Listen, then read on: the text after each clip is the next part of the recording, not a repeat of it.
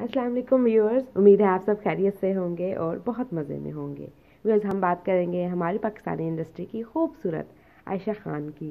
लेकिन उससे पहले, अगर आप मेरे चैनल पर न्यू हैं and you haven't subscribe my channel yet then do subscribe so you could get all my new videos easily with Ayesha Khan जो रिसेंटली अपने हस्बैंड और अपनी बेटी के साथ अपनी सालगिरह मनाते हुए सोशल मीडिया पर नज़र आईं। आइए देखते हैं आयशा खान की अपनी फैमिली के साथ सालगिरह के मौके पर केक कटिंग की एक छोटी सी क्लिप